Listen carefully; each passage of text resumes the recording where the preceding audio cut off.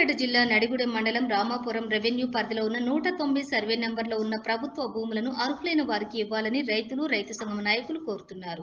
నడిగూడెం మునగాల మండలాల్లో ఉన్న రామాపురం ఈకేపేట తెల్లబల్లి కోదండ రామాపురం ఆకుపాముల నరసింహాపురం ముకుందాపురం బారాకత్గూడెం కృష్ణానగర్ నడిగూడెం గ్రామాలకు చెందిన రైతులు సేద్యంలో ఉన్నారు. సేద్యంలో ఉన్న వారికి పట్టాదారు పాస్ పుస్తకాలు రాని పరిస్థితి.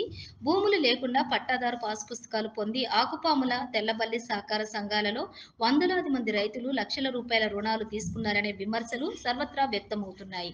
ఇప్పటికైనా సంబంధిత అధికారులు భూ సర్వే చేపట్టి అనర్హులను తొలగించి అర్హులైన వారికి పట్టాదారులు పాస్ పుస్తకాలను ఇప్పించాలని మండల ప్రజలు ప్రజాప్రతినిధులు కోరుతున్నారు.